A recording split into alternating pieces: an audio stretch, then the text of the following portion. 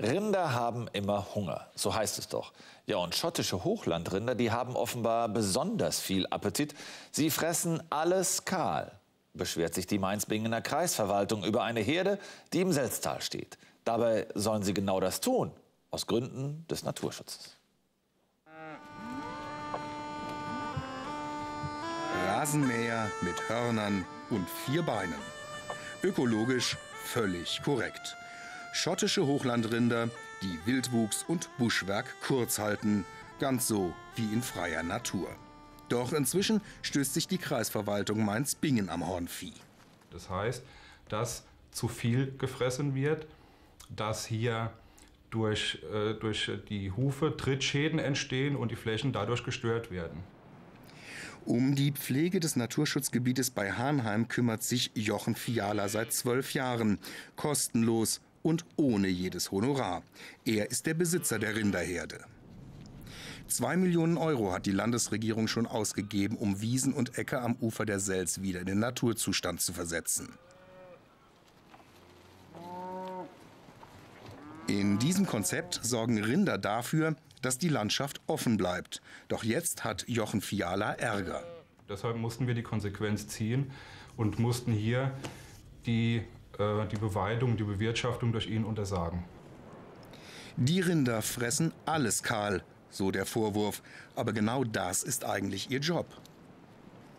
Wenn Sie Kiebitz zum Beispiel haben, dann muss das, die Fläche ganz flach abgefressen sein. Kiebitz ist ungefähr taubengroß.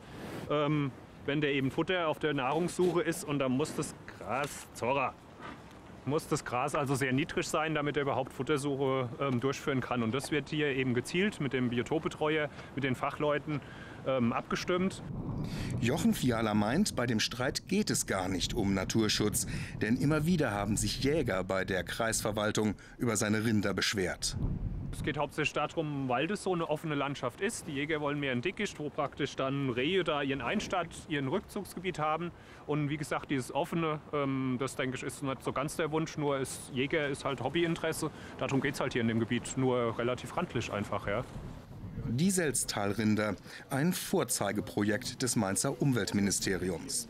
Matthias Schneider ist dort für die Biotopentwicklung an der Selz zuständig und durchaus zufrieden mit den vierbeinigen Rasenmähern. Was entscheidend ist, glaube ich, das ist auch gutachterlich belegt, ist, dass in den Bereichen, in denen keine Beweidung stattfindet, die Vogelschutzziele aktuell nicht erreicht werden. Zwar sind die Vogelschutzziele erreicht, dennoch hat die Kreisverwaltung den Vertrag mit Jochen Fiala gekündigt. Kann es da noch mal zu einer Zwangsräumung der Rinderherde kommen? Also ähm, das ist ein Mittel, das wirklich das aller, aller, allerletzte wäre. So weit soll es nicht kommen. Der Rinderhalter will das nicht hinnehmen. Und wenn es keine Einigung gibt? Denke ich, das werden wir dann sehen, aber ich werde es also auf jeden Fall auch gerichtlich durchsetzen, ja geschützte Vögel. Satte Rinder, zufriedene Naturschützer. Ein friedliches Bild. Wäre da nicht die Kündigung aus der Kreisverwaltung?